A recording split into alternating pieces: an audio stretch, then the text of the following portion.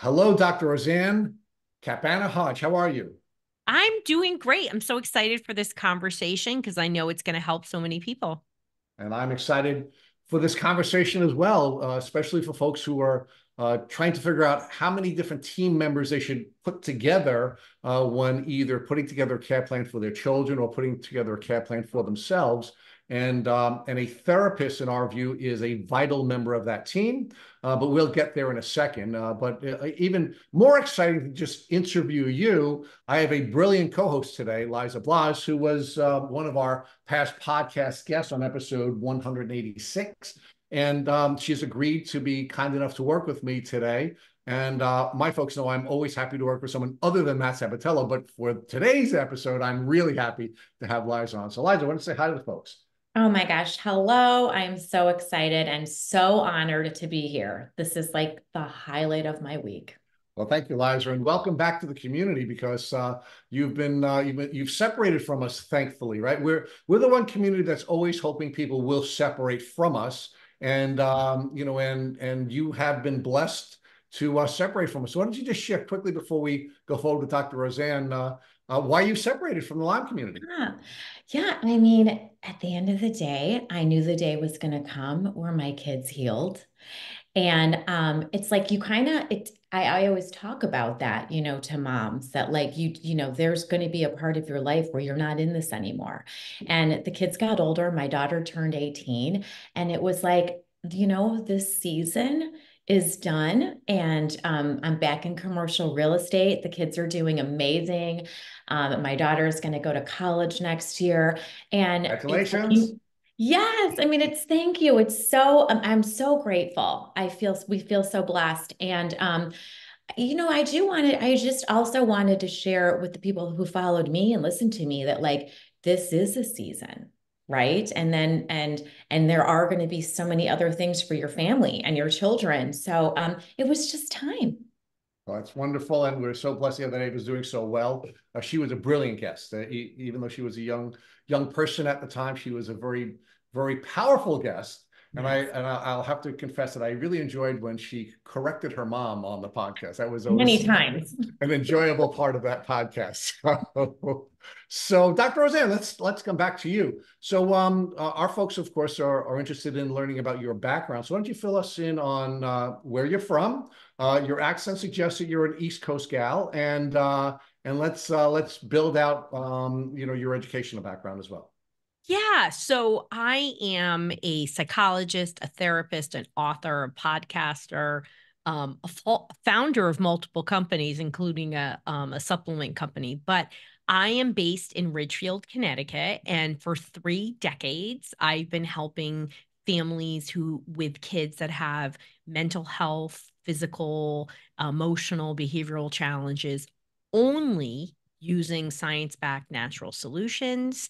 And I came of that um, because even though I was traditionally trained in my doctoral program, I quickly became known as somebody who helped people with complex cases.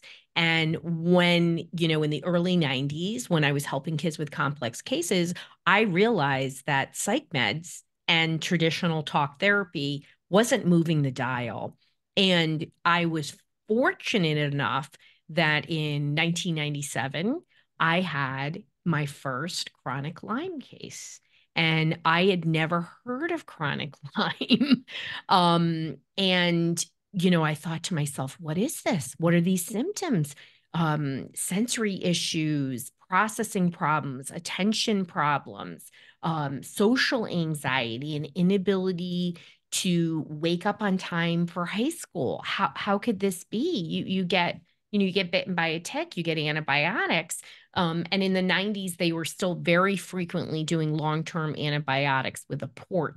And this young man had it. And you know, being that I was that kind of person and still am today, that I believe that everybody can get better and when i work with somebody i don't give up on people. We i look for solutions right? I'm a i'm a people come to me because i'm a strategist and a solution finder.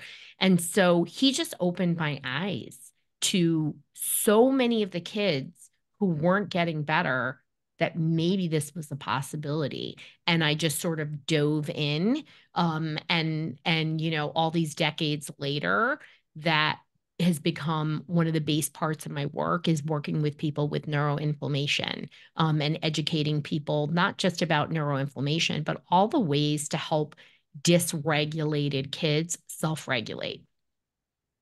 All right. So give us a little bit more about your background because someone who has a podcast entitled It's Gonna Be Okay really sounds like a New Yorker. So are you a New Yorker or are you are Well, you, I'm a, um, I was born in New York. I'm daughter of um Italian immigrant parents.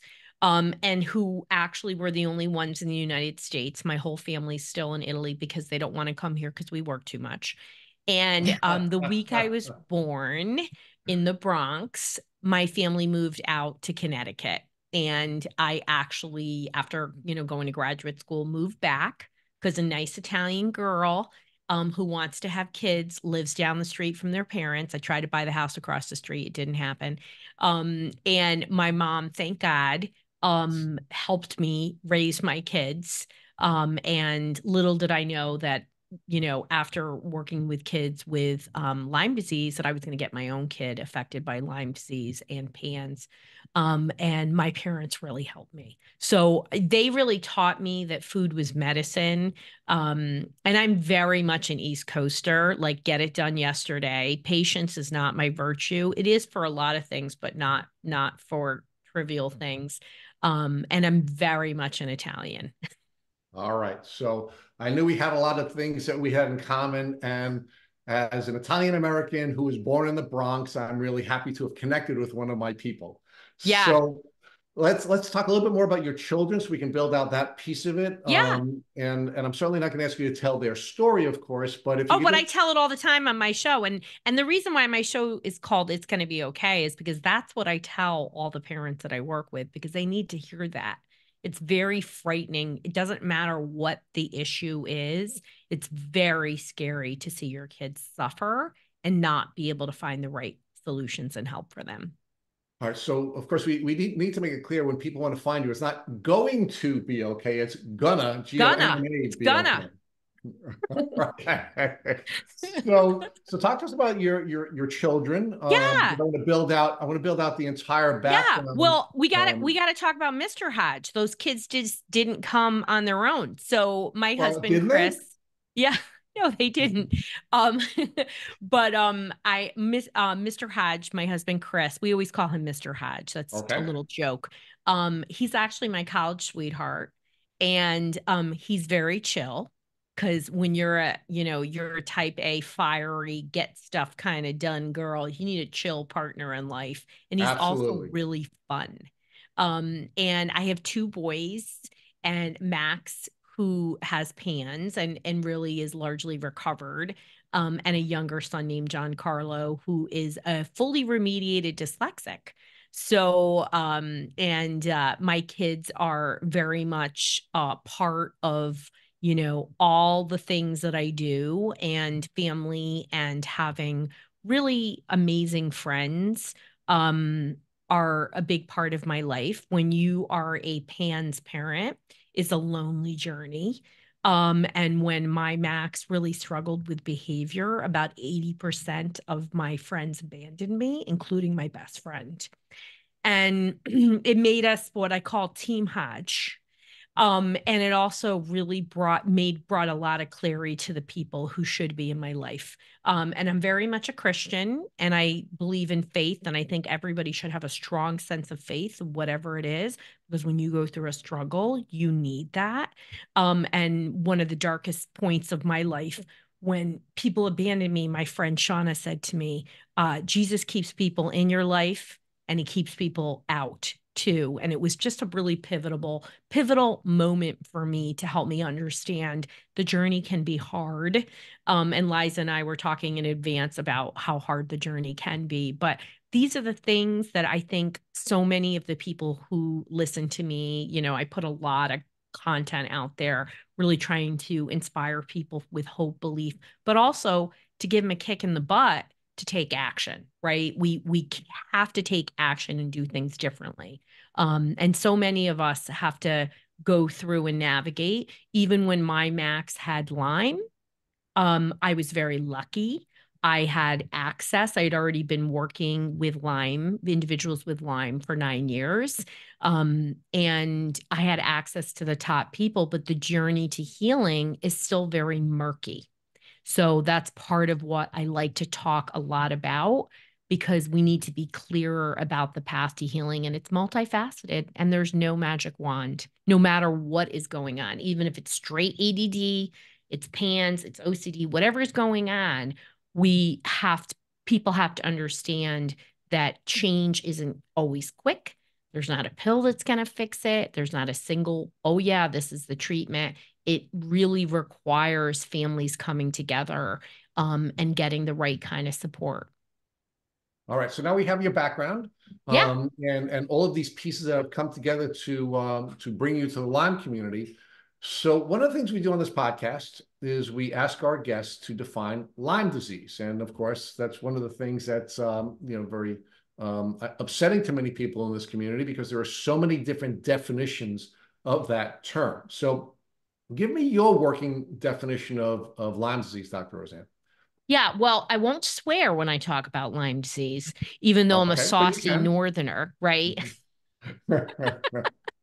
I mean, essentially, Lyme disease, you know, is a uh, vector borne um, infection that in, that causes the body to um, have neuroinflammation. It results in a variety of difficulties from neurocognitive, neuropsychiatric, um, physical issues, and it's a complex bacterial based infection that is genetically evasive and really smart and knows how to hide within the cells.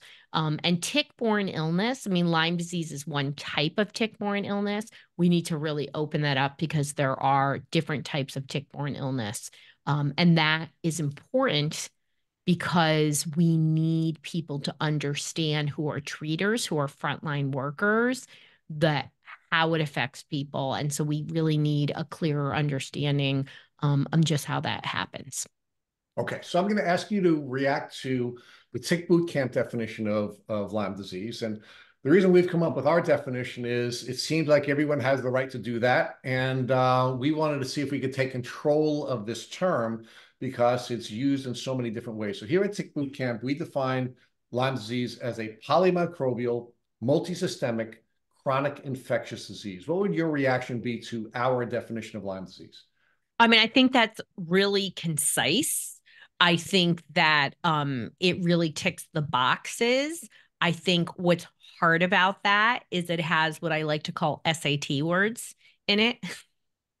and people may not identify with that. Right. So I think one of my gifts is that I've had the privilege and still do work with very young children. So that means I have to dis- distill complex concepts in an understandable way. So that's not really, I understand it because I've been trained in Lyme disease since the 90s. Um, but I don't know how understandable and relatable that is that people may not identify themselves as having Lyme disease based on that definition. All right, thank you for that input. So, Liza, give me your reaction to the polymicrobial multisystemic chronic infectious disease, the three elements of, of Lyme. So what just to to add on to what Dr. Roseann was saying, um, I think mothers who are overwhelmed and and shutting down and you know living in brain fog because of this lifestyle i can imagine dr roseann that you have to also a defi- uh, explain Lyme and these types of disorders and behavior that we're seeing in ways that we can understand too.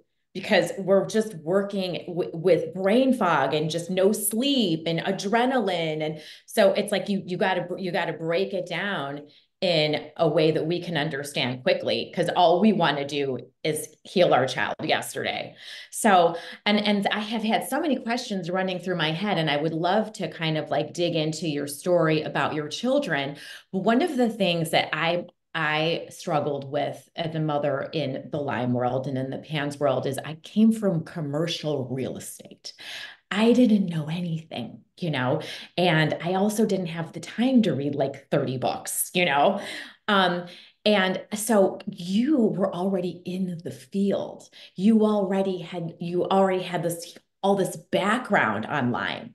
So tell me a little bit about like your introduction to Lyme. You had mentioned you had seen your first patient, um, and then kind of bring us to here's what you knew about Lyme and how you learned it, and then this is how things kind of changed when I saw it in my own family.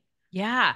Well, you know, so the first young man that I had sort of opened my eyes and then you know, I'm just one of those very curious people. I dive into everything. I, you know, I also will read 30 books on the topic. And, you know, back then it meant going to the library and looking at microfiche, the the internet was just in its infancy at that point, right? And so I just started to make connections to other cases. And then it just became part of my protocol. And I think my first next leap was that, you know, I used to do neuropsych testing. So, what's my job? Diagnostician, problem solver, putting those solutions in writing in front of people and guiding them through a clear care plan and treatment plan. And so I remember early on, I had this case. The next big case that I had was a young man that when he came to me, he seemed almost like he had multiple personality disorder. He showed up very differently for each of the sessions. And when I did testing, I broke it up typically at about six sessions. So being I'm saucy and a straight shooter, you know, I said to his mom, who was a former nurse, is he on drugs? Like, what is going on? And she said, absolutely not. I am certain he's not because I thought so too. And I tested, I tested his hair. So I was like, okay, I'm going to just say something to you may not know about. Have you ever thought it's chronic Lyme? Because he has a history of bizarre infections. You've tried so many great different types of mental health treatments and nothing has worked. And she goes, Do you know that I think about that all the time? And so from that, we wind up getting him proper care, which was even harder then. It's still very hard. And, and, of course, that's what it was. And it just explained so many things that were happening. And I then really made that like, okay, I need to learn more about it. I need to find the way to educate others. And, you know, at the time, you could go to in person seminars. Groups were already forming. The Lyme community was already forming. Pans and Pandas wasn't really there. You know, it, it didn't even really come on until the 90s. And and then moms, I always like to say badass moms took control in PANS, particularly in the Northeast, and really started to educate people.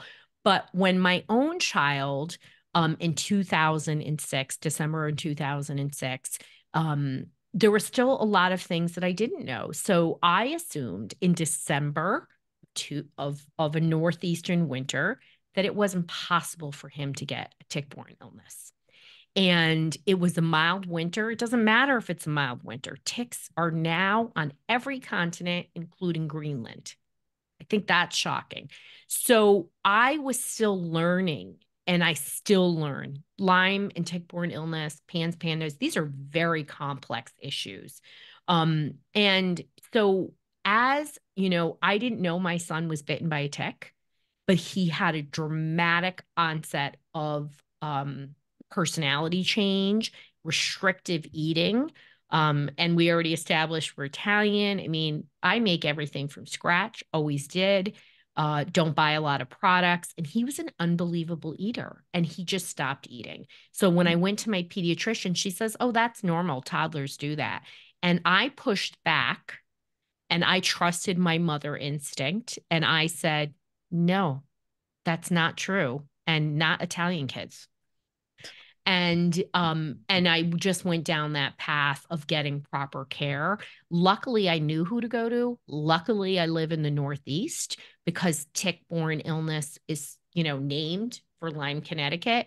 There does and continue at the time and today there continues to be a lot of providers here thankfully there's more and more but it really was a long journey because what i learned in that journey was you know it was still very much traditional blast with antibiotics, still very experimental. Um, we've definitely come much farther. I don't think, you know, because of the bio individual components of the disease and because as I always like to say, when one thing comes to the party or crashes the party, the other things like to crash the party. So most people have a complexity. They have multiple tick-borne illnesses. They might have viruses. They might have, you know, toxins like mold or other we had environmental components. Um, but I had to pull from what I learned. It was once my own son had Lyme, it was really tough to go to trainings. I mean, there were times I would go to trainings and cry and leave um, because it was a different lens. I was there as a not just a healer, but as a mother. Um, and I think the best thing, you know, as a mother, I was very fortunate that I was raised by just an unbelievably strong mother who really taught me to, she would literally say this to not give a crap what other people think and really raised me to have no limits to what I could do. And so, because of that, I pushed and I kept pushing and I kept pushing for the right answers and the right solutions. Um, and I think that, you know, as a woman, we don't enculturate our women to really trust their gut. We we enculturate women to be caretakers um, and sometimes that means that we don't find our voice. Most women don't find their voice until their 40s. Um, and I think it's really, really important for people in this position, whether it's yourself or your child, to always trust your gut because the path is murky. Um, and I think that's one of the greatest lessons that I can impart to anybody else, and certainly was part of my journey as well. So, Dr. Roseann, before you and Liza take this next step, and I, I know I'm anticipating the follow-up questions from Liza, we do have a diverse audience here at Tick Boot Camp. We have some new people to the community. We have some more uh, more um, experienced folks in the Lyme community. But can you please define PANS and PANDAS for our community, and then I'll let Liza take yeah. you uh, to the next. Thank step. you for asking that. Um, yeah. So PANS, PANDAS, and autoimmune encephalopathy are all three different conditions um, that have similar symptoms, except PANS and PANDAS have a sudden onset. So PANS is pediatric acute onset neuropsychiatric syndrome that can result from um, tick-borne illness or a variety of infections and toxins. PANDAS is due to strep, right? And uh, and even though uh, many there's somewhat of more awareness of pandas um, because strep is incredibly common um, most of my clients have pans. And what is it? Like how is it similar or dissimilar from lyme disease? I think that's important to understand. And even though the word pediatric is in the word PANS p-a-n-s we now include adult onset um, so it's a misdirected immune response. The body starts attacking itself due to an infection toxin or combination of such. And of course, in pandas, it's strep only. And that produces neuroinflammation. And neuroinflammation results in neurocognitive, neuropsychiatric symptoms. At the core of PANS and PANDAS, again, is that sudden onset, an overnight change. And this is very important because people do not talk about it. Um, it's not just a sudden onset, it could be a deep acceleration of a pre existing condition. So you can have anxiety, but then it just goes through the roof or turns into OCD. Um, you can be moody and then have extreme depression or bipolar you know symptoms like so i think that's really you know important to talk about that because that's often why it gets missed because with so many particularly in pediatric the norm is neurodivergence mental health issues today. Kids uh, have this increasingly right? It's not that we're better identifying but we have this more. So pans and pandas sudden onset. Autoimmune encephalopathy is uh, you can have waxing and waning of symptoms before it becomes uh, an issue, but they're all going to affect, you know, the core features are restrictive eating, um, tics, and OCD. And then there is a lot of other symptomatology around it that are really common, a regression of behaviors, um, particularly learning, um, toileting issues that regress, urinary frequency, you can have mood issues, you can have ADHD, you can have anxiety. Again, all adding to the complexity. Um, but the thing about PANS and PANDAS, when you have a sudden onset of a problem, this is not normal people. Run to a professional and at least get this, you know, make sure that it's ruled out. Yeah. I, I want to ask you one more foundational piece, if I could, Liza, sure. before uh, before we move forward. Can you talk to us about neuroplasticity and um, and the difference between um, brain development for a child between the ages of zero and seven, seven and 14, and 14 and 25, and why why neuroplasticity and the radical changes that occur in a brain between zero and 25 make the Lyme PANS and PANDA experience different than it would be if someone were to have an adult onset of these conditions. Yeah.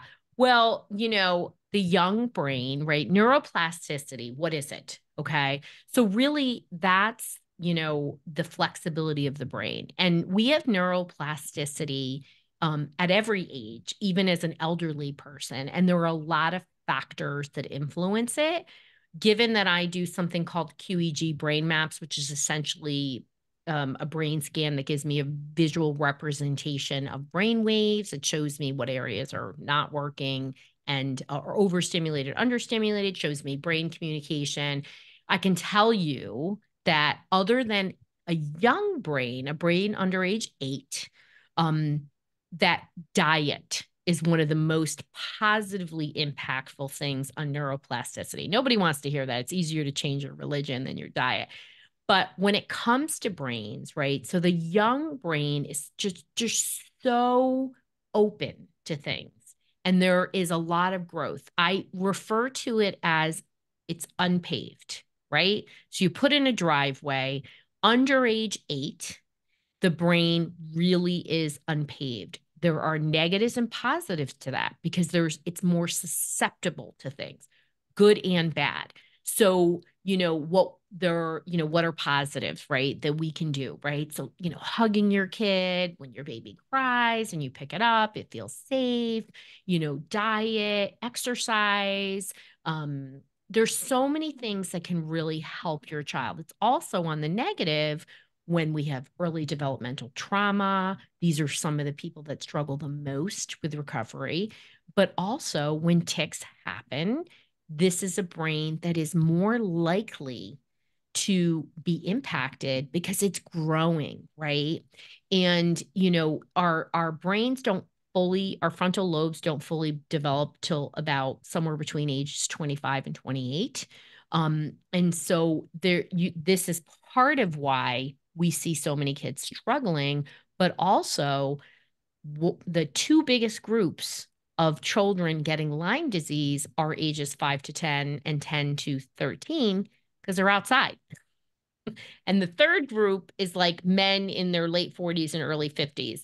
Um, the research always shows that. So neurodevelopment, you know, occurs along stages. There are positive and negatives, and it is part of the reason why kids are there's so many positive things we can do for neurodevelopmental growth and neuroplasticity, but it also is part of the reason why kids are more affected because they really have a brain that's unset until about age eight. Wow. Well, and just to add to that, it was such a great question because as you can see, as these these um, brain development stages, right, your child's going through them. So, as a first time mom, you also don't know what's normal and what's not. No. Nope. So hard to tease these things out. You know, a lot of our kids already have some type of neurodivergency. It's, you see it as an early age, like, well, my my kid's a little quirky, so that might be normal for my kid. And then, you know, if they do get hit by a tick or other environmental toxins at a certain age, you don't know them going into puberty. You might think that that's just a normal part of the phase, but in but you know, you might not know that there is ongoing inflammation happening. It's such a true point, and and especially when it's the first time child. And you know, a lot of times parents will say to me, like, I didn't know something was up until I had the second kid, and I saw how dysregulated this child was until you know I got a kid who actually could self-regulate. And what does that mean? They can go to sleep without being held for an hour and um, they would sit down and you know get started in their meal and you know their communication was different you know their mood was different and we don't know what we don't know and you need a fishing license but not a parenting license it's so true. It's so true. And you had mentioned earlier, you know, when you had gone to the pediatrician and they were like, well, this is normal. The toddlers do stop eating. And I mean, I know I, I defer to my pediatrician a lot and got a lot of bad advice, you know, but it's always right. like, hindsight's 2020 of like and, and I, I didn't i just so much envy you and your empowerment of you know being a young mother and pushing back i think i wasn't that person back then and I, you know, it, you know, we, it, we, I've learned so much, you know, and, um, but, you know, it's, I think there's just a lot of, um, parents that are just overwhelmed and working and they just, they're just referring to the specialist and you might not get good advice. And Liza, we want to believe them. Yeah. We want to believe there's nothing wrong. You know, um, my Max was started talking at seven and a half months. And um, by the time he was um, 15 months, like he was talking in three or four word sentences. So it's a little freaky when your kid is like that. But when this happened, he actually was like, Mommy, my head hurts at 22 months. So when I took him, and then I looked at him and he had these dilated pupils, and I knew for my Lyme people, that means that he had brain inflammation, right? So when I brought him to the doctor, right, and and I was like, I'm working this system. I I had an appointment with one of the most well-known pediatric Lyme doctors, God rest his soul, Dr. Charles Ray Jones, um, who was almost he was in his late 70s when we got to see him, and he practiced until his 90s, right before he passed away. And um, I was like, I need antibiotics, right? Because that's that's what you did at the time, right? And and everyone has different paths. I'm def I'm pro what's right for everybody, right? I'm not against antibiotics, but I think everyone needs a different treatment based on their unique platform, right? Or, or, or their symptoms and the different things. And so I went to her and I was like, I need antibiotics. I got an appointment with Dr. Jones. I got to wait nine months. And she said, Well, I'm not going to give them to you. And I go, Well, he's got brain inflammation and and she said yeah. And i go well what do you think that's from? And she said i think that's from allergies. I go you think brain inflammation inflammation is from allergies? I was like are you going to give me those antibiotics? And only because i was dr roseann and she knew me i got those antibiotics um, and he started to change within six weeks. And I was really lucky lucky because I called Dr. Jones's office all the time, like, I'm 45 minutes away, get me in and I was able to get in like in a few, you know, within six or seven weeks. But we we don't trust ourselves, right? And we're asking an expert, but they're not an expert in Lyme disease. They're not an expert in PANS, and it's very different when you go to that. Um, and and you know this is part of the complexity of the problem. It's really hard to find good care, but we have many messages, and our gut is very much our intuitiveness and our sense, and it gets muddled under stress. And we need to quiet down, connect, right? Because it's only easy to connect the dots when we look backwards. That's what Steve Jobs, his famous quote, one of my favorite quotes. And we can't feel bad about it. We can only learn from it and not repeat it. Right. Dr. Roseann, let me ask the two of you as moms uh, about signals, right? Because there are a lot of signals that we are receiving as parents. Uh, and I yes. think moms, especially Italian moms, have a, a, whole set of signals that I think you have to deal with. So let me ask each of you to talk to me about uh, guilt, uh, mom guilt in particular. Uh, when you're when you're when you have a child that's not well, and you know the child's not well, and you're struggling to um, to um, find out whether or not there is in fact something wrong with them, where does mom guilt play into this, and how does that interfere with your your signals? Oh my gosh. I mean, I had a family that drove 13 and a half hours yesterday to see me. And um talk about mom guilt, right? You know, guilt does not serve us um, but it's a factor in all of this. And the long and short of it, with you know, in my people, you know, let me talk about them, but I'm not going to reveal all their stuff. Is that this was a young man, like a very common scenario. I don't know what number doctor I was, um, had somewhat of a waxing and waning onset of OCD a number of years ago, somewhere between six to eight years ago. And the long and short of it was, you know, I'm very detailed in my intake. And I was like, do you have any, you know, rashes on you or stretch marks? And so, you know, when I hear the little signals, I try to ask it sooner than rather than later. And they're like, yeah, he's got stretch marks on his back from a growth spurt. So I look at him and I'm like, that's Bartonella. That's Bartonella. And then in the intake, 100% heard POTS, uh, could see histamine response visually on him with red ears. I could see a lot of things. And the mother was like, started instantaneously crying and feeling guilty. I, how could I not know this? And I said, hold on, hold on. You took him to numerous doctors. You are not taking this responsibility. Those are some sucky doctors. And there were like honestly some criminal things that happened that absolutely people didn't see even what they thought the problem was that wasn't even properly investigated. And so when it comes to guilt it's like anything else right like you know I've I've had to do different things to even mourn the idea of what I thought some of the things would happen for Max, right? You know, oh, I thought all my kids would go to Montessori schools and you know, they'd be so regulated. I I did detoxing my husband and I before we even conceived 20 years ago. Nobody did that, right? Good for you. But but I was always a biohacker. So using science, right, to optimize, but we have to let go of that. We have to process it, deal with it, and move on from it. There's a lot of trauma that happens in all of this. And we we can't let that hold us back because what I see all the time is that it stops people from moving forward, the guilt. And it's not fair. The system is not set up properly. Lance, yeah. what about you? What was your experience with guilt, and how did that interfere, if it did, with with uh, the signals um, you were getting from your gut?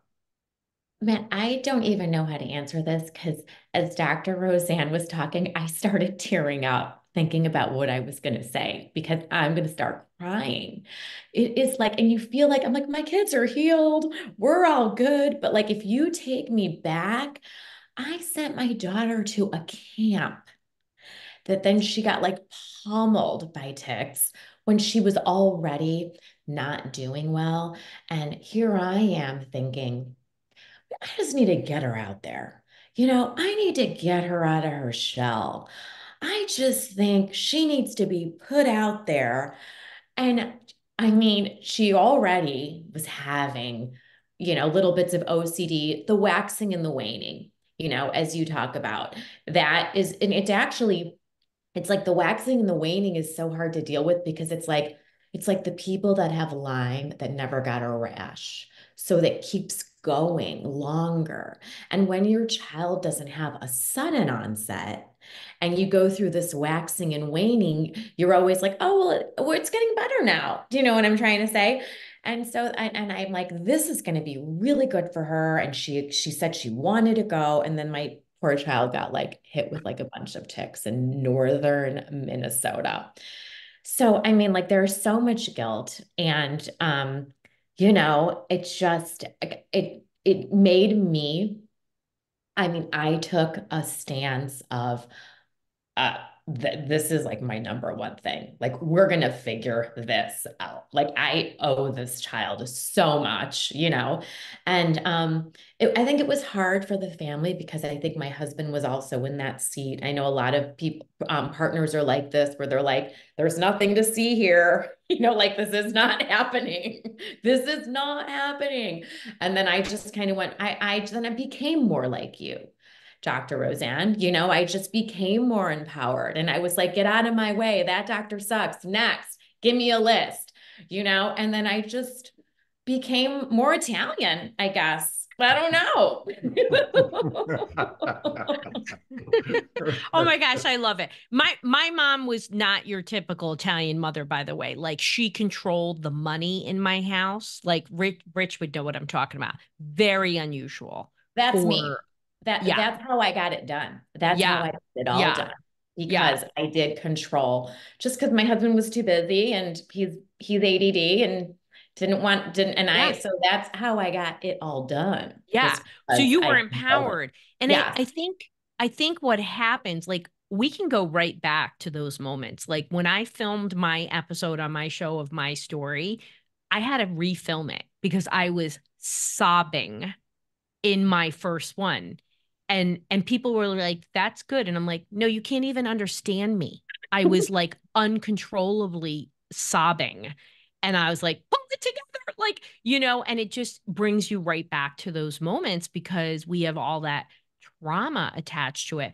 But i think you bring up something really important and waxing and waning right whether it's the pre part of it or you officially have a diagnosis is also called flares and flares are part of this huge complexity and part of the reason in Lyme and PANS and PANDAS and autoimmune encephalopathy that people don't get better because they're not understanding what are the flare triggers. Is it stress?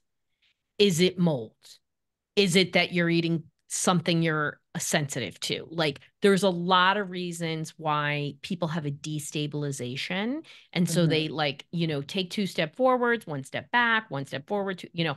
And what happens is when it comes to parents, it really causes conflict in relationships. I 80% of the families I work with, the parents don't view the problem the same way and they're in conflict. So you have a child who's struggling, you know, they could be, you know, the child could be exhibiting symptoms of rage, you know, out of control anger, psychosis, OCD.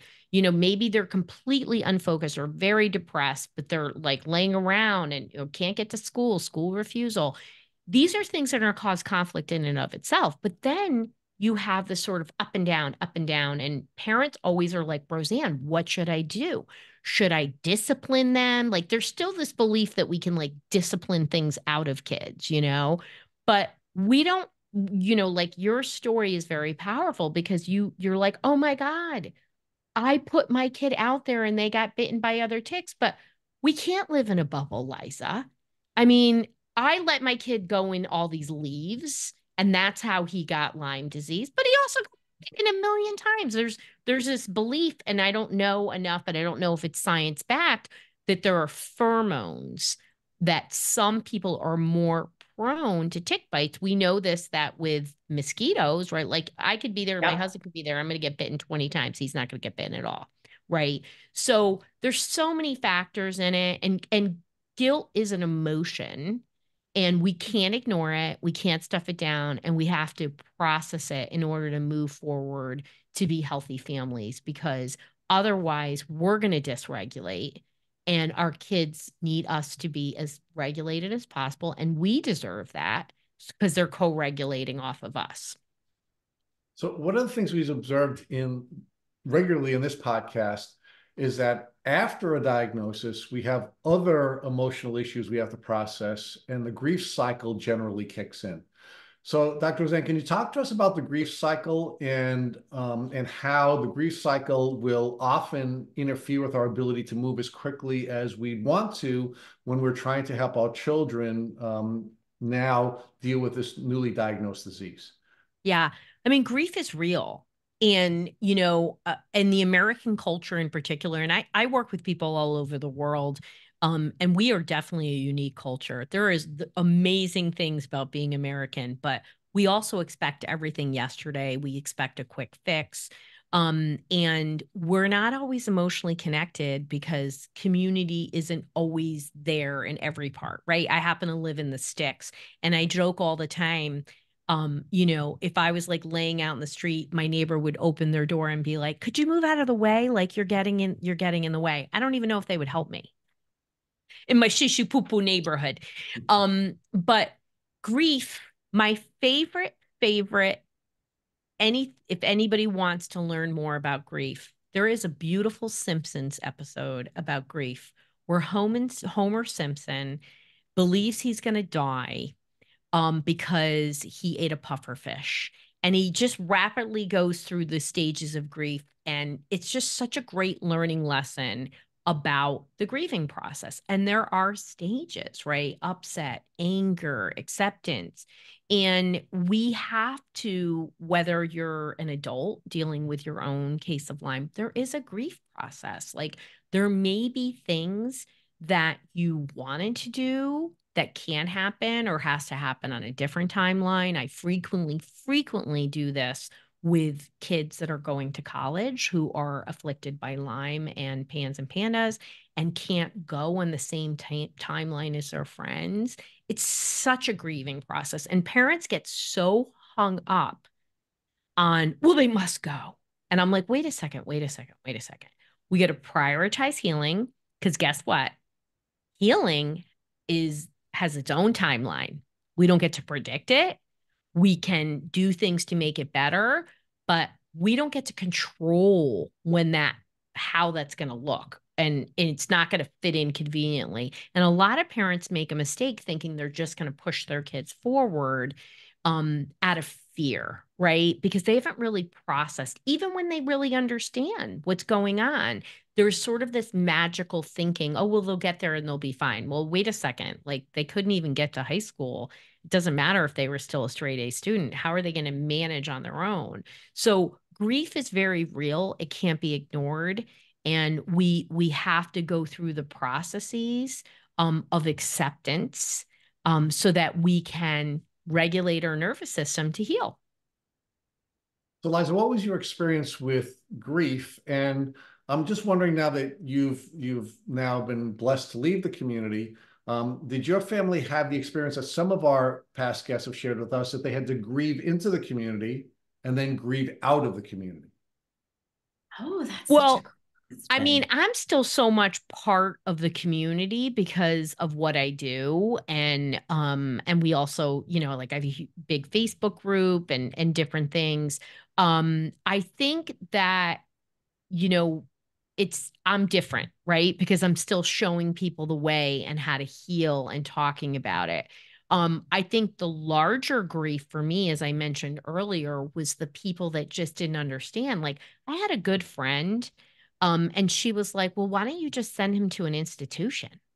And I was like, You've known me all these years. I won't even put a psych med in him. What are you talking about? You know?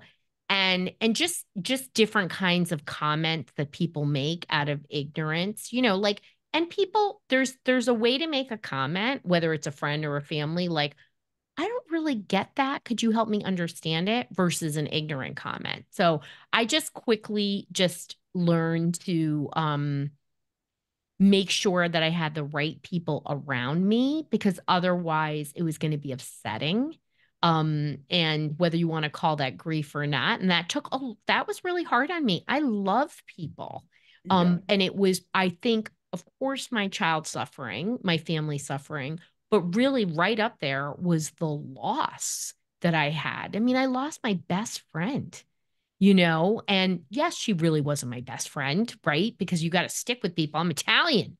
You ride or die. But um it hurt. It hurt really bad. It was very, very much something that I had to grieve. So, Liza, one of the things that we've we've seen here on this podcast, uh, and actually, I think we saw some of this in your episode as well, is that um, you have to go through the grief process, and after mm-hmm. acceptance, you create something new, right? And you become a member of the community, and you start to connect with other people, and you start to heal together. Uh, but then, of course, you do have to leave the community as well. We want to kick you out. We want you to go and, you know, we want you to be better and we want you to uh, move on with your life without dealing with this label. But there is this process of grieving out of the community because you've made so many connections. And again, we become friends, Liza, you and I, as a result of yeah. this connection, right? And and and and I, I pulled you back in, even though your family has has uh, been blessed to leave us, um, you know, from from the standpoint of having to deal with this on a healing level. So, talk to us about first your grief as a mom, and and and how your family grieved when you finally when you first came into the community, how you then, after acceptance, created something new, and then how you had to, if you did, had to grieve when you left the community. Yeah, that's such a great question. So, grief for us, I feel like our whole family had to grieve when we were down, right? Like it was a good three, two and a half to three years of healing. I have to say, I was so busy trying to help everybody else, especially my husband, that my grief. I, I I I cried a lot. You know, there were times. I mean, best place to cry is in the shower and in your car. You know, that's like the only time to do it. Get it, get it done. Like cry it out, and move on. But there, I remember my husband having a really hard time because he thought he was going to be on the soccer field and coaching baseball and i did i don't i don't know if i'm the only mom that felt this i felt like i took that away from him i don't know like and um i had i really spent so much of my energy my personal energy trying to help my husband process his grief because I needed him so badly on my team. Like, get on my team. This train is leaving the station. I need, I need you packed. I need you to get going with me. And so I spent a lot of my time helping him through his grief. And one of the things I always used to say is, this is how I picture grief. It's like he he plays a lot of poker, and I'm like, we still have good cards you don't like our cards. You think we have garbage. This is a good hand. You know, it's not like a straight flash, but like we still have a good hand. She, my daughter, she's so intelligent. Like, she, like people are constantly admiring all the things that she comes up with. And my son is funnier than anyone you'll ever meet. And he's a huge disruptor in life. And that's what I needed. I needed him to disrupt me, to push me out there to be a better advocate and a more empowered mom. And the person that really did that was like my disruptive son, you know? And so I was like, we, so that was my whole grief pitch with my husband. I was like, we have good cards. And I feel like other families need to know that, like, yeah, this is hard, but you know they don't look like a, it doesn't look like a good hand but what god gave you are still good cards and even great cards and it's so interesting because dr roseann you were talking about the timeline and my daughter didn't get her license until she was 18 and she was um, homeschooled for uh, she didn't go to school for a year. And when she healed it's like she got a we moved she got a new set of friends. She's graduating high school with an associate's. She has a boyfriend. Like the whole acceleration piece of that one year that she missed the floodgates opened. And that was a timeline i didn't expect. You know but you're driving and you're going to your boyfriend's house? What? After work? Like I mean, it was just i can't even believe those things came out of my mouth. So I think uh, from this really long timeline of waiting for our children, it's amazing how it just the timeline will collapse when they recover.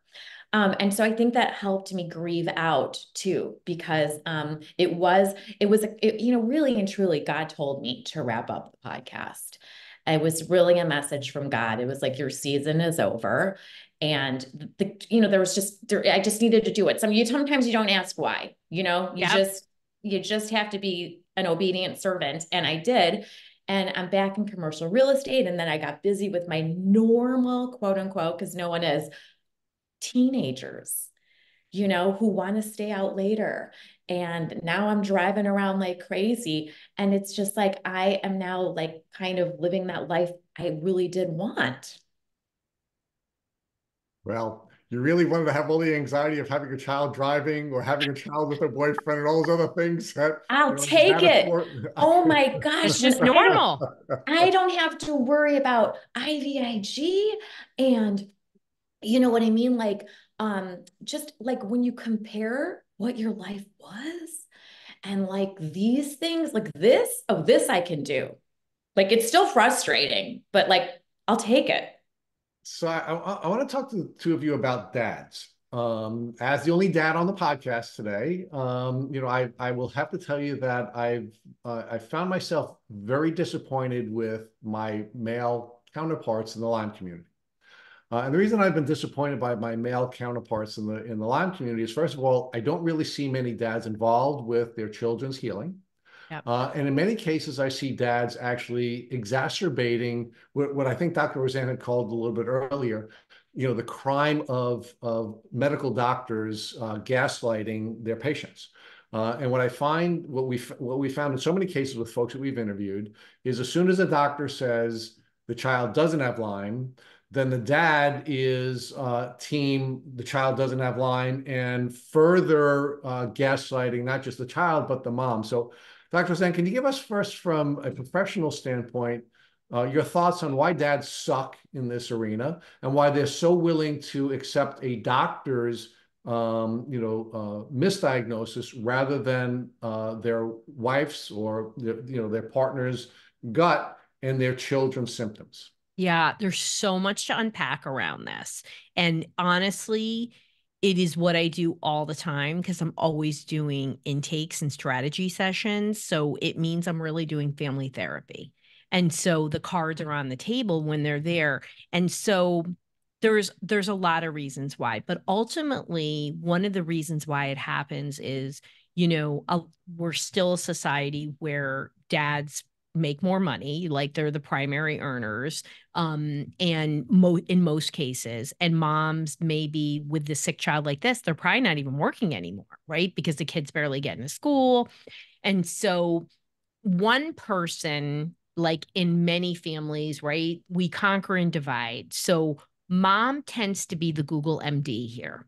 So they do all the listening of the episodes and they do all the research and they, you know, do this and do that. And dads don't do that typically, right? In my experience, and I've, I've worked with thousands of families, and uh, it is most often 98% of the time, it is a mom calling me, right? Um, and still to this day, many of the times when I do intakes, only the mom comes. Now, it, more and more dads come. Like I, the family had yesterday, they were amazing, mom and dad and they'd equally done the work, right? So mom did the pre work. Then she was like, you need to listen to the PANS, you know, you need to listen to the OCD track. Like she had done that. So dads don't always get the same education about what the problem is. So when they go into the appointments, right, they are not, they don't have all the knowledge they need. That is one of the biggest obstacles, right? Then on top of it, you know, dads tend to want to be care- fixers, right? And so the doctor says, this is okay. Uh, this is what it is. Um, there's only band 41 here. So it's not Lyme disease, it's not tick-borne illness, whatever it is. Oh, they didn't have a um uh, you know, they don't have a bullseye, you know, all the BS. Um, they want to believe it, right? We don't want to think our kids are physically ill or mentally ill, right? The other part of things with neurodiversity being so much on the rise that a minimum 25% of the US population identifies as neurodiverse, 50% of kids today have a physical or a mental health problem, and that's from 2011 data. Um, they also have these things can run in families, right? So when somebody has a history of like ADHD or mental health issues, you know, there's two ways to approach it, right? I'm okay. So this kid's going to buck up and be okay, even though this ain't 1970, 1980, 1990, where it's pretty easy, it was much easier to get through school. Um, or I want the best for my kid. I want to make sure they don't have those same struggles. I'm going to get them all the help. And and so there's just so many factors. Then we have the outside family and friends that give you misinformation, right? And and so when it comes down to it, you know, 80% of the time, the couple just doesn't see the problem in the same way. And those factors play into it. And um, so you know they and and also let's be honest you know uh, treatments are expensive and so dads are like i got to work more. I got to make sure my job is there. And so they're not always able to get to everything either even when they want to. You know it's part of why i when people are in our program um i don't do phone calls. I only leave audio messages so that i ensure both parties listen to what I have to say.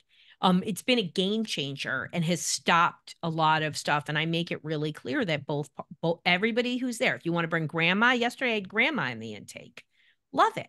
But we are not always up to date on our information. And also, we're a culture again that believes in quick fixes. Um, doctor is the king of the hill uh, you need to be on the top. You need to be the CEO of your mental health, not that damn doctor. No offense. You should, you should, when you find a trusted provider and who's aligned with you, um, and and helping your child get better, you should trust that doctor. But until you do, you better make sure you're the CEO and you better help your under your partner, um, and hopefully your team, uh, to understand that's the case. Is that helpful? I think it is helpful, uh, and and I'm gonna I'm gonna give you a dad's perspective after I give Liza an opportunity to give us her thoughts on why she thinks her husband's uh, experience may have been different than hers, and uh, what role he played that may have been positive, and what role he may have played that may not have been so positive. You know, my husband actually told me why years later, like recent, maybe a year ago, he told me why he wasn't so involved and let me do it. And it's because what you said, Dr. Roseann, because they're fixers. And he couldn't fix it. And it made him feel like a failure as a father. So he, and, and he didn't know this at the time. Like, do you know what I mean? Like, it, this is like after reflection and and some some space between like the moments of crisis. And he's like, you know, I just like one of the things that I hate feeling is guilt. This is my husband saying this, and failure, failure as a father. And I couldn't fix it. And I'm like, my whole thing was like, well, I couldn't fix it either, but I just kept trying. Like, you know what I mean? It's like that's that was the difference between our dynamic. Is he was like, I'm a failure. I don't want to feel failure. And I'm like, well, I am a very good failure person. I fail all the time. So I'm just going to keep running off cliffs until something sticks. Like it's not going to stop me. Um, and that was just the difference in our dynamics. Um, you know, like he he he just my husband was just a very smart person that always got A's. I was one of that per, the people that had to work very hard, you know, to so I just had I think I just had more failures in life. and so it didn't stop me. Yeah, but I think there's another piece I, would like the two of you to address, and I'm just um, speaking from my own experience, um, and that is that I think mom and moms and dads really have a different role in their children's lives, right? And um, you know, and again, I'll speak about both my mother, a very ethnic Italian woman, first generation Italian woman, but also my wife, who is not Italian. Um, they could never say no to their children, right? And and I think my father's perspective, and certainly my perspective as um, as you know a parent in in this partnership, is someone had to say no. Someone had to allow the children to you know suffer some failures and learn their lessons, and ultimately you know stand up on their own two feet. And I I, I can tell you that I have a daughter who's a lawyer and very successful, and my wife would still be sending her money if if if I didn't say no. I have a daughter who's a doctor. My wife, uh, who's also very successful, and she would continue to send the money. Right? I mean, and and and um, I, you know, at some point, someone has to say no, and I think most men, most dads believe we're the people that are going to say no. And maybe you're saying yes a little too much. Maybe you are. Maybe you need a different perspective. So uh, Dr. Roseann, I'd like you to first uh, comment on on my perspective that maybe it is in that balance where we get to a good place, and someone has to say no. And in most cases, it's the dad. Well, I think, you know, listen, we inherit our parenting style from our parents, right? So I think everyone parents differently, right? I mean, my parents said no to me, Rich. So all right. My parents were like, we paid for your degree and your wedding, you're on your own. I mean, I'm a hundred, you know, like it, it's every family is different. And I think that, you know, the other thing I see with dads is that when I do these meetings, dads are completely incredulous that the that they're the stupidity that goes on in the medical and mental health field. And they can't believe that they've gone to these qualified degreed professionals and it's taken so long to find an answer. So I think they want to believe more than moms because let's face it most people you know work for corporations and you know it's it's a harder harder process and also too men are taught like they're disciplined differently, right? Boys are disciplined. So like there's a harsher discipline. And so they often believe one of the largest conflicts I have is about, you know, again, I said this earlier about disciplining out of kids. So they're more likely to believe that it's purposeful behavior than a mom who is generally more of the caretaker, generally more connected. So when you say, you know, saying yes or saying no, your wife, she just has a generous spirit. You know what I mean? Like, I don't look at that as a bad thing, you know? Um, and you have it and it's not hurting you. So spread it around. I'm I'm I'm a believer in in giving to charities and things too. So I, I don't view it in the same way as you, Rich. I think that there's just a lot of things we bring to the table to um, that help us or hurt us in this process. But I also want to be super clear to individuals seeking treatment and parents seeking treatment for their kids that the system sucks. Like we are not where we should be. This is a medical problem that, yes, there's complexity into it.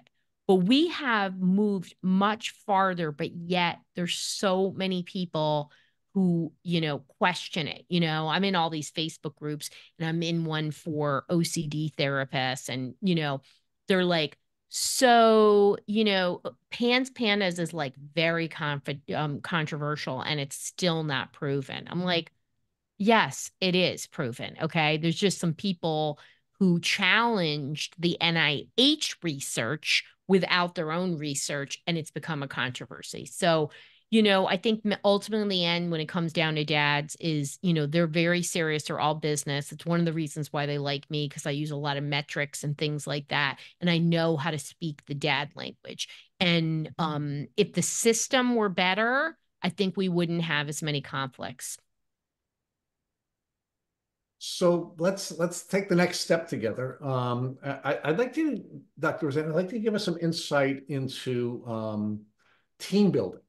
Um, you know, one one of the things that that uh, I'm often concerned about in the Lyme community is that we hear people saying you have to become your own doctor, right? And I and I'm and I'm always like, oh no, you don't.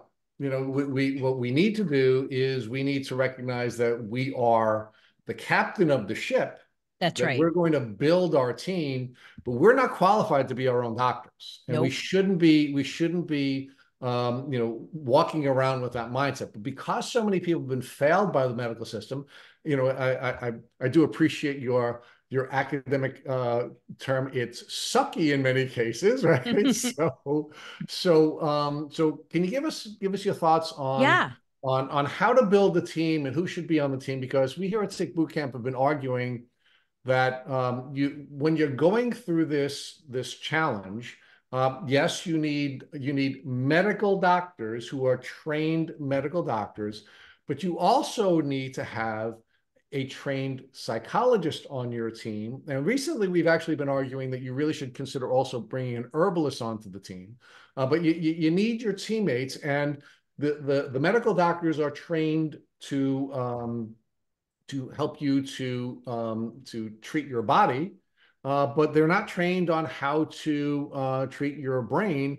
And your brain is going to be, in my view, an even larger element of your healing journey. And if you don't have uh, a therapist on your team, um, your your journey is going to be much longer. So, Dr. Roseann, give me your perspective first on on the this hey you have to be your own doctor piece and then give me your perspective on uh, on team building and who should be who you'd recommend uh, be on the team yeah such a great question. And this does come up all the time. And I know people have been burned, right? So there is a difference between do it yourself and being in charge of picking those experts on your team. And what you need is expert guidance. You can't just go to some health coach, you can't just Google MD it. You need to be informed and educated. Absolutely. And, you know, there is good information, there's great books, there's leaders in the field, but you need proper medical intervention. And when it comes to PANS and pandas, you know, Lyme disease, I talk about a five pronged approach. Um, and that those five prongs need people in those spots right so it's you know addressing infections and toxins it's uh, your immune system it is um, your mental health your you know behavioral parenting support and you you have to regulate the nervous system. If you don't regulate the nervous system and of course you have to have uh, you know reduce uh, neural inflammation and improve detoxification but when we're not calming that nervous system down no healing can occur. It's called psychoimmunology the study of stress and its effect on the nervous system. And so we that are there many things there that you can de, you know, do it yourself. Of course, right? We can do breath work, we can do yoga, we can do HeartMath, which is biofeedback.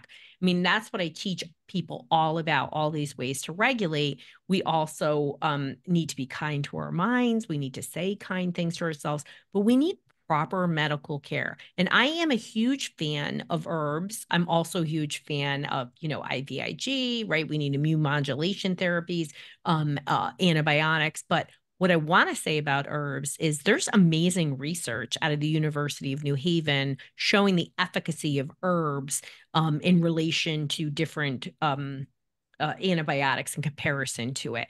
And it, it's more targeted.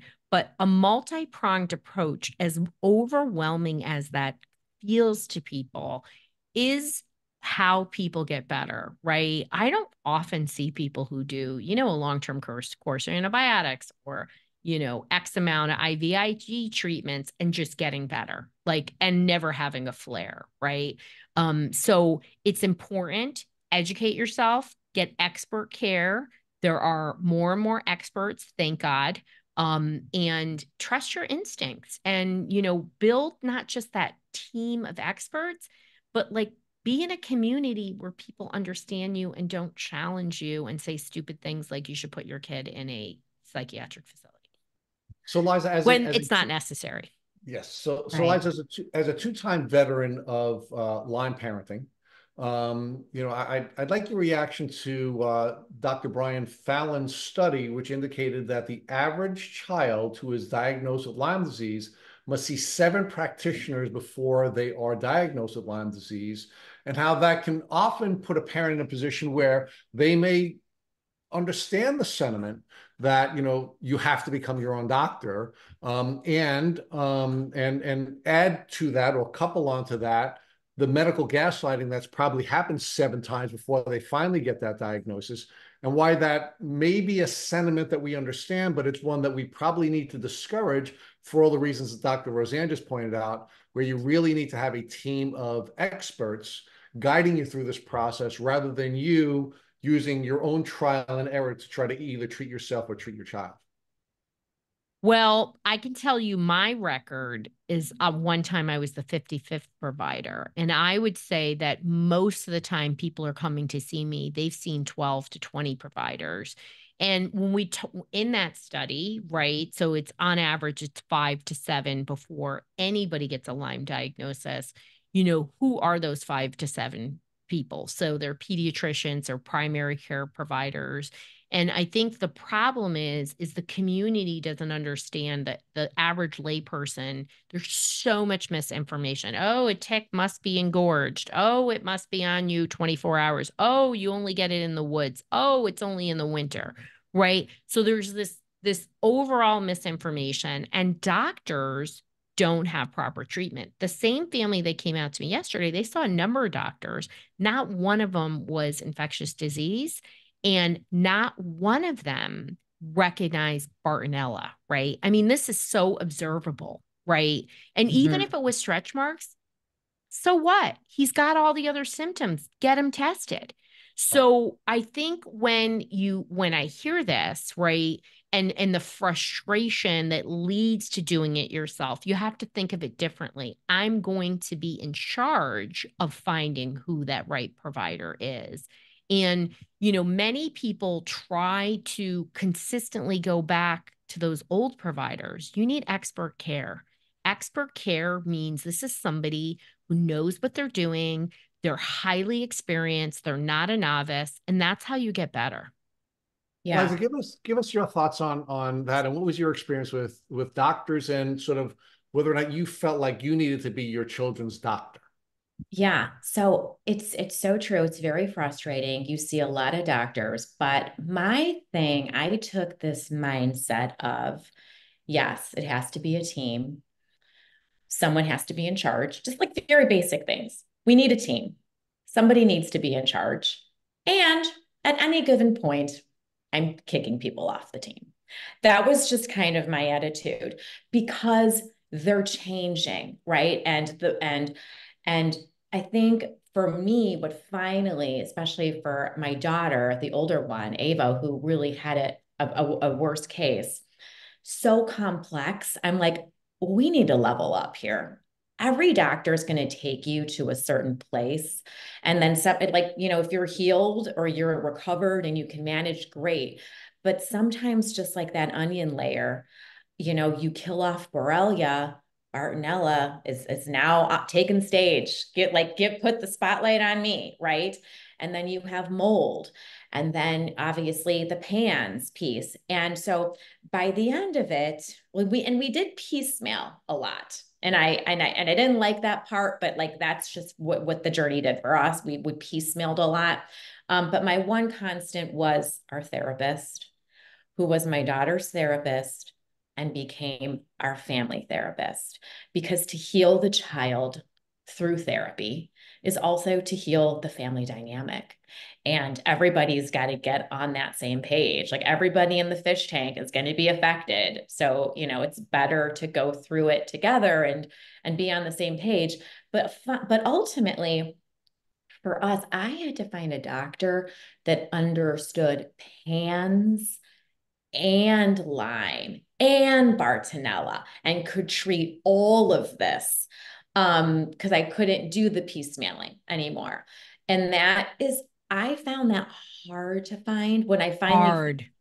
the doctor, you know, um it, it was great and it's it's not cheap but it's like doesn't like it's an investment like we we need you know like it has to be done so you know nothing of uh, nothing's covered by insurance and supplements are are expensive you're not it's not a $15 copay right we all know that so um, I think finding a doctor, a medical doctor who can, who has years of experience with the brain inflammation, the OCD. You know, a lot of people are also falling into the world of autism by the time that's right. get to this place, plus the Lyme, plus the mold. There are doctors that do it all. So, Dr. Zane, you actually you actually dropped a gem that I don't want to miss. Uh, in fact, I want to build out together uh, during your last answer. Um, and one of the things you talked about um, was that the brain, your nervous system, is going to control your immune system, right? So let's talk about that a little bit more because uh, the way we, you know, the way we articulate humanity uh, I guess with language is we describe ourselves as a spiritual being, or we describe ourselves as an emotional being, we describe ourselves as a physical being. But the truth is, all of those things are merged together, right? So I think one of the reasons why people do not initially put people like you on their care team. In fact, we at Tick Bootcamp are constantly um, constantly observing patterns of success. And what we find is that generally the people who are successful go through a process of prehabilitation before they go through this process of killing. And we think the most important person on the prehabilitation team is a psychologist because the psychologist can help to regulate the central nervous system. And the regulated central nervous system then allows the immune system to function at a time when you're going to go through the killing phase. But because we distinguish the body from the brain or the physical from the emotional, most people don't understand that if you do not regulate the nervous system, you're not going to have success healing. So can you build that out a little bit more? Because you touched on it very quickly, and I was like, wait yeah. a minute, this is important. Well, can I say fact- say amen? You did such a great job, Rich, of saying that. And really, honestly, this is my whole life's work. I mean, my tagline is calm brain, happy family. Um, and that's across, it doesn't matter if it's tick borne, it doesn't matter what it is, if neuroinflammation isn't there, whatever, it doesn't matter. So it is so important and um and I'll, I'll share with you after we talk about this how i even came to this of of going into uh, the study of psychoimmunology but the way the autonomic nervous system works and like just a very basic understanding of our ans it it controls our stress response and when our nervous system is regulated it is what is in a parasympathetic state i call that the hot tub state you're relaxed, you know, everything's working right.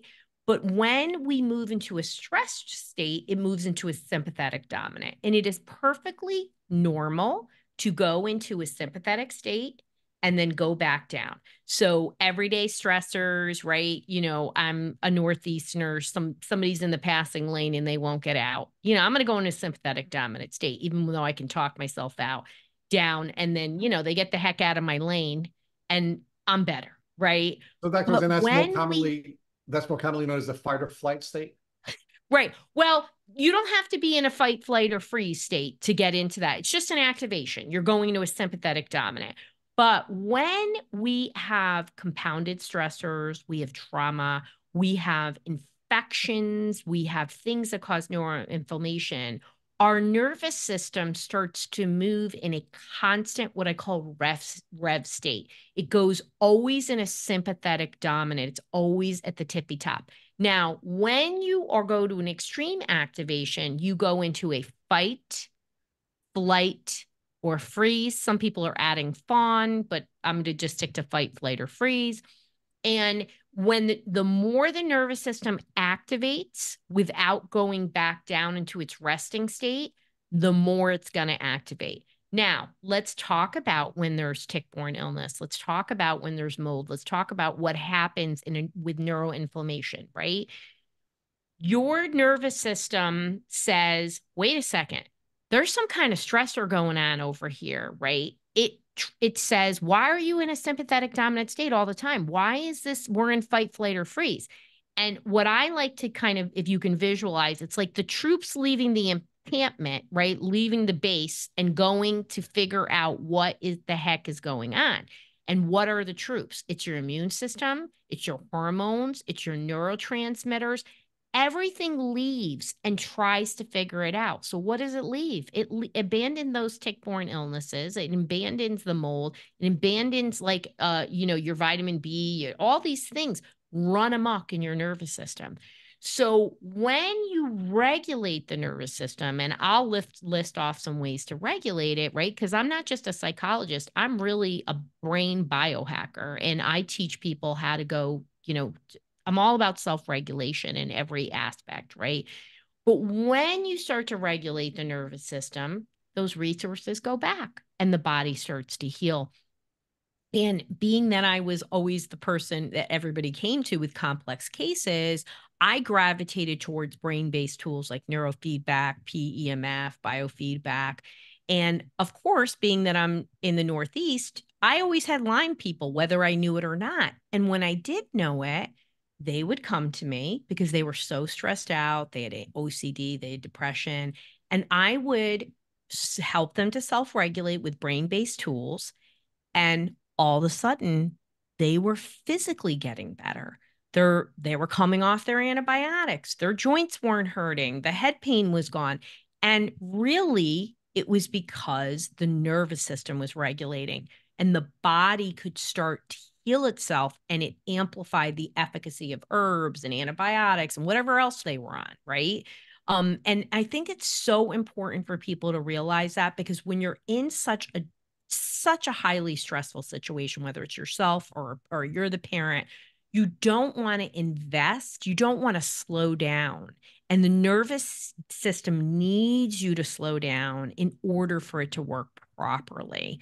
Um, and and I hope that's helpful for people. And there's so many other ways to do it too. It's not always easy to do breath work. It's not always easy to do meditation. And it's just critical, right, for you to do these kinds of things and very intentfully. And it has to be a bare minimum of 10 minutes a day. We need at least 10 minutes. I say when you have a clinical issue like Lyme or PANS and PANDAS, it should be 30 minutes. It could be broken up in different ways. Um, and cardiovascular, like running and weights, that's not the same. It has to be powered down. You have to get into that parasympathetic state in order for the body to heal. So, Dr. Roseann, um, so let's talk about again the the the prehabilitation phase versus the uh, versus the kill phase or the yeah. or the um, you know, we, we like to call it the the assist phase. We're assisting our immune system, right? But just get from a conceptual standpoint, if if you again your your your immune system is um, is being is being suppressed because your body is in fight or flight, right? Again, and I know you, are not a fan of me using that term, but I'm going to say with it anyway. No, no, I'm a big um, fan. And, I'm I'm a big fan. But sympathetic dominance, whatever you want to call it, that's the extreme version of it. Many right. of us are in that.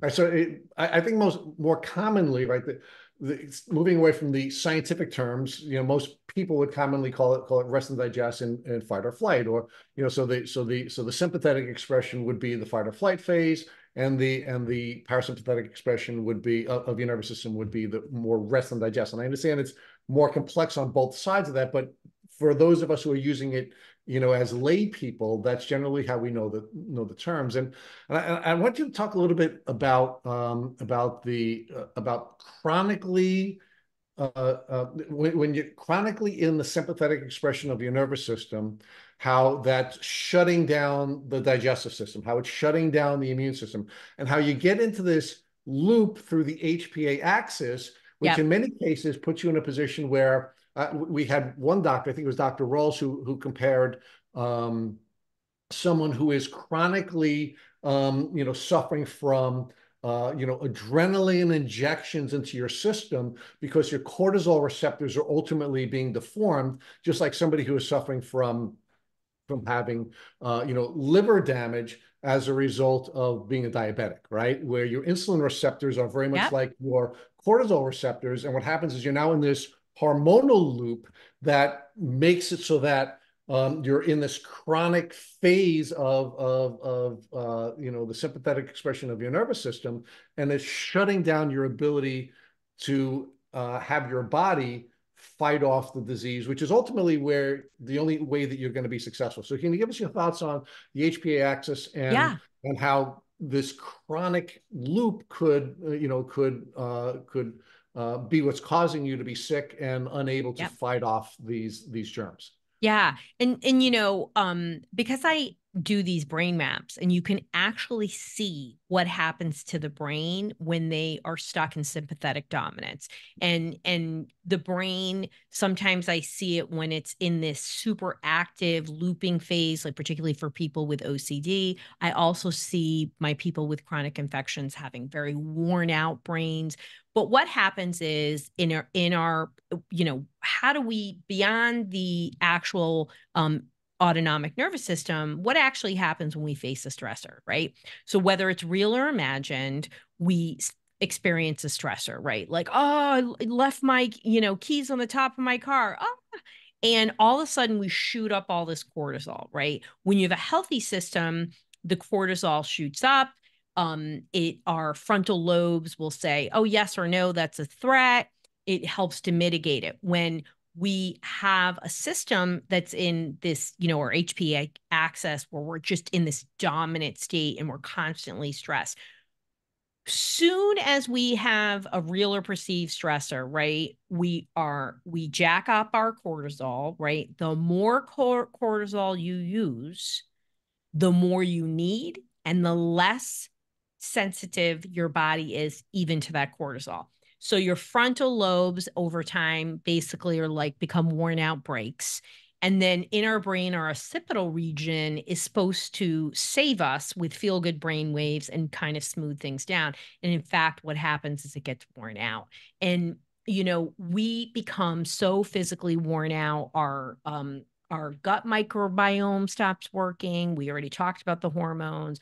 We talked about our neurotransmitters. And all of these factors, we deplete many nutrients, particularly magnesium, vitamin D, the most used nutrients in the body, and everything starts working against us. And it really is a job to repair itself. And, you know, I love the idea that you, you know, think of um, nervous system regulation, getting it to calm down um, whatever you want to call it, um, that it's the pre treatment. And I see people in all phases of treatment. I see people in crisis where there's just extreme dysregulation, either understimulated behaviors like depression, you know, those kind of things, or rage on the overstimulated behavior. I see people that are then in various degrees of getting support. They're 50% okay, they're 90% okay, and they want to get to 100%.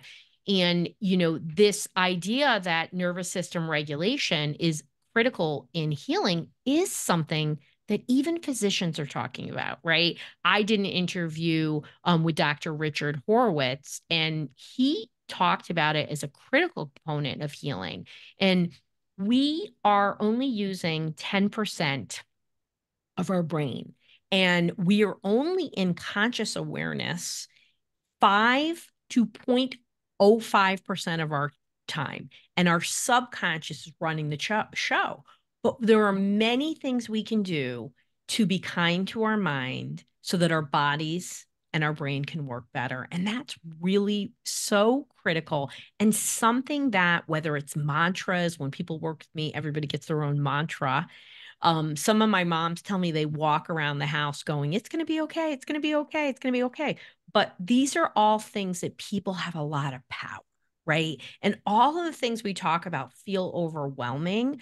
But when we integrate that in our, in our lives, it's a lot easier than being in a state of overwhelmed and then disconnect.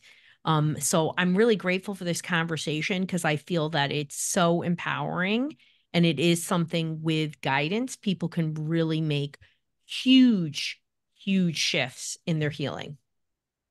So, Liza, I, would really like you to give us some insight into uh, how important the therapists were in your life, in your children's lives on their healing journey. Yeah. And and why you think, Liza, that uh, that uh, your children would not have had the success that they had if you didn't have uh, yeah. someone like Dr. Roseann on your team?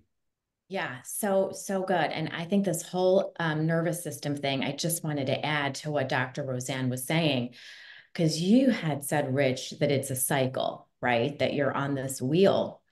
And we're talking about the nervous system. And this is what I um, think was such a big game changer in our family is, and I used to talk about this a lot on my podcast, is to get off the wheel and help your child regulate, you as the mom have to regulate. You are the person that can like change the dance. I always used to talk about this. We're in a dance with our families, the dance being like these dynamics of like, now we're all stuck in our cycle and everybody's got their role of dysregulation.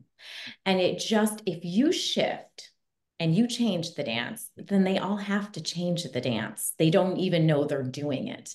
And that is like the, one of the most empowering things about being the mom is like you have that much influence.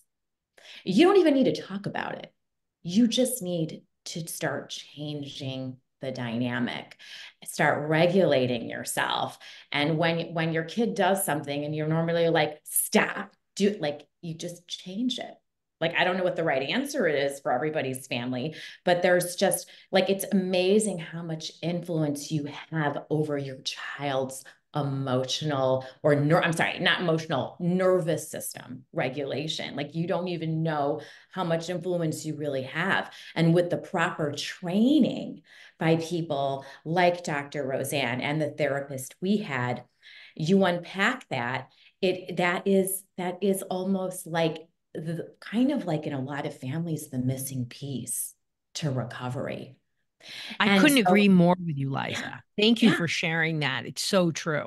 It is so true. And like, you know, all of these pieces are so important the herbs, the inflammation, the supplements, the magnesium, but the, getting that nervous system in place. And I, I couldn't have gotten there without the professional help of my daughter's therapist. And he, you know, he, he wasn't even like, sometimes we're like, we need a, we need a specialist, a special therapist that understands this. You know what? I didn't have that. I just had somebody that was willing to try, who really cared deeply about helping our family. And I was like, well, my daughter's hallucinating. And this is even before she had the Lyme diagnosis. And he was just like, all it is about is like, Liza, do you feel safe? And I was like, no. He's like, well, how do you think she's going to feel safe? And it was like all about this whole conversation about feeling safe and like, you know, and not being crazy neurotic, like, and but also not being dismissive. Like some parents are like, kick it off, shake it off, you're fine. And there is like this sweet spot in the middle that your children need that you have to figure out. Um, and that is really, I mean, it's kind of like a little detour in how this heals your family. But it is so true. It is about your nervous system doesn't feel safe. We don't feel safe. And and so yes, to, in order to help my children feel safe and get that nervous system feeling safe, I that's all the work I had to do. So helping my kid was like all this work I had to do on myself. So, Dr. Roseann, I want to throw some gas on the fire before we before we uh, leave the conversation, um, and uh, I want to talk a little bit more with you about medical gaslighting, uh, because uh, almost every one of the guests that we've interviewed on this podcast, and as I shared with you, there are more more than 400 of them, have said at one point during their journey, a doctor has said that they're that they're um, everything is in their head, that they're not sick, that it's all in their head. And we here at Tick Boot Camp uh, generally see that as double gaslighting. The first thing it does, of course, is it it makes the patient feel um, unseen. Uh, but the second thing it does is it pushes them away from, as you now know, we think away from the person we think is the most important person on the care team, certainly at the at the early stages of this, which is it pushes them away from the the, the psychologist who need to help them to regulate their system, right? Uh, because somebody's telling them that they're crazy uh, they they're they're now repelled from going to a, uh, a, a psychologist and therefore less likely to get the care they need in order to be able to have the uh, nervous system regulation that will allow their immune system to now work and and attack the um, you know the bugs. So can you give me your perspective on the disrespect that uh, that medical doctors are um, are um, engaging in, not only to their patients but also to people in your community? Well, and I have to say, I don't believe it's just medical doctors. Mental health isn't there either, right? So, as great as it is for nervous system regulation, when it comes to infectious disease, when it comes to PANS, you know, PANDAS, Lyme disease, we need mental health providers to be educated about what these things are as well, because we are the frontline workers. All of these people with Lyme, tick borne illness, they wind up in medical mental health care right and i'm not well, saying i'm with not... you but but uh, so but let, let's let, us let us tease this out because i i think they're two different yeah. paths because if people are getting to you and then yeah. your your your folks are not properly trained that's a different question than i'm asking i'm asking okay. you about the medical doctors who are gaslighting their patients and making it less likely that they're going to get to you at all yeah But I think there's gas gaslighting in mental health and medical. Okay. In in in mental health, they're pushing him to psych meds because they don't Yeah. recognize it. And in mental health, in medical, they're pushing him to psych meds too. And so there's so much confusion, and that's why so many people, right? On average, it's five to seven doctors before a Lyme diagnosis. This is a problem that is in our mental and medical health system that we need to address. Okay, I, I, I appreciate that. I, I, I- I do appreciate it. So it's, um, it's, it's, they both suck. So we'll, uh. Yeah. It's getting better because, you know, honestly, because these things are so prevalent that they're the providers have personal experience. And what brings most providers to this industry is that they have a child, they have a family member. I mean, you know, I got involved long before my own child did. And I'm grateful that I got involved because I would have been down, I still went down messy roads, but I didn't go through the same thing that most families do because I knew where to go. And we don't, when when we tell people it's all in their head, they start believing it. And that's a problem because that means they're not going to get proper medical care. Well, you know, but uh, I would argue it is all in their head. It's all in their head because they have bugs in their brain, and because they have bugs in their brain, the neural pathways are changing, or they're they, they're suffering from inflammation, or you know, there are a lot of other issues that are are very important to deal with. And I'd argue to you, quite frankly, um, if you accept that it's all in your head, you're more likely to get on a healing pathway faster by dealing with the neurological and the brain issues Right. first rather than last. So, But the uh, the saying "rich" of all in your head means that there's nothing wrong with you. you're crazy, all. right? Right. I Yeah, mean, it's you're you right? But- know, and I- there's I- you know nothing you can do about it, which isn't true. but just There's like a lot you can do. With Dr. Roseann, just like we we here at Tick Boot Camp want to take control of the word Lyme disease or the terms Lyme disease, we also want to take control of the term it's all in your head, right? Mhm. Because if we take con- if we can take control over that, then maybe when when when when patients are being gaslit by doctors, it means okay, let me go see a qualified therapist who can help me with my nervous system regulation. And maybe I don't need to see anyone else because now my immune system can function properly. And because my immune system can function properly, maybe we don't have to deal with every, you know, dealing with antibiotics or other types of things that may also have side effects that we don't have to deal with if we if we have a regulated nervous system. So um, I uh, uh, we are at Liza's hard stop. I would talk with you all night. Uh, there are hours more of conversation, Dr. Roseann, that I'd really love to have with you. Uh, but I did promise Liza that we would be off at a hard stop. So I, Dr. Roseann, I absolutely love this conversation. Thank you so much for taking time away from your family to speak with us. And Liza, as always, I love you. You're wonderful, and your questions were wonderful as always. And thank you both for for doing so much for this community. And Liza, thank you for coming back to our community uh, to help us out with uh, asking Dr. Roseann uh, so many Thanks really wonderful having me. And and yes, and thank you for the opportunity to help me change people's lives because that's really the mission that I'm on, right? And uh, you know, wherever people are, I hope that you know they got something out of this that will help them on their healing journey.